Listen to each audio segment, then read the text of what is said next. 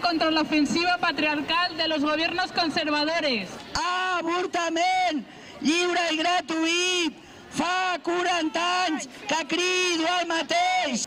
Eliminan las subvenciones destinadas a los ayuntamientos para el mantenimiento de los centros municipales de atención a las mujeres.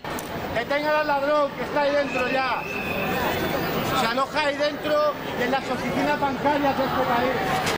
Desmantelan los institutos de la mujer, utilizando su estructura para promover estereotipos sexistas patriarcales y modelos de familia tradicionales.